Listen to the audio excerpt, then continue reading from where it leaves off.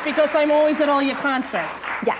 And I annoyed you a couple times backstage. You backstage. didn't annoy me. But I scared you a little? No, because it, you don't hang around long enough so we can like go out and have a margarita later. You know, you Okay. turtle off, and it's like we need to go out and be girls and talk Yeah, but I about felt embarrassed. You know, I liked her. I like you. We see you. You know. Why are you embarrassed? I don't know. I thought you might think she's a wacko or something, you know? Because I know all your songs, like some of my favorites. Ever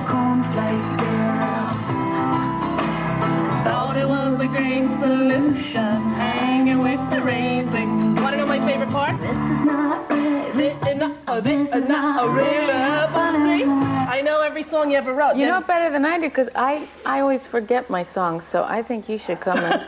no, really, I forget them all the time. Do you forget like what you're going to say? And I forget what I'm going to say. I forget mine, but I don't forget lyrics because you know, especially your lyrics are so profound, or they're like poetry, and they all tell a story, and very poignant. All of them. It's you know. Well, maybe you'll come with me to my shows because I, I can't remember my lyrics. okay, what do you need? Just give me a Um, song. I know. Um, Crucify, I know. It's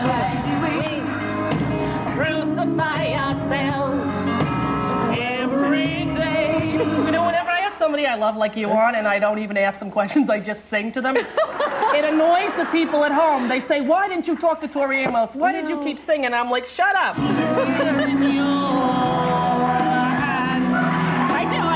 I love you. I think you're great. I want to tell them about your organization. It's called RAINN, and it's the Rape, Abuse, Incest National Network. And Calvin Klein came in and saved it from going bankrupt, an organization you started. I know a cause that you're very passionate about, as we all should be. And if you buy this T-shirt at the Calvin Klein stores, 50% of the proceeds go to this yeah. cause. And what it is is it's a hotline. So the idea, it's well, it's actually a number that connects you with rape crisis centers. In your local community. Yeah, and they're like 600 across the country. So when you call, um, you don't pay for the call, and it's kept confidential, and it just, you know. And Tori, good for you for doing that because it is well needed, and uh, we applaud you for that. Don't go away. We'll be right back after this.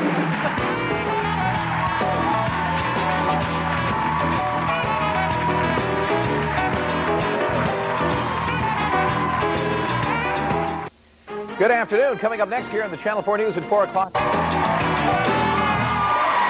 tomorrow's show, Anthony Geary's going to be here. Tori Amos on concert, a Lifetime tonight for RAINN. Watch it on Lifetime at 9 o'clock. Tori Amos, thank you. Love you. We'll be back tomorrow with uh, Luke, you know, from General Hospital. Bye.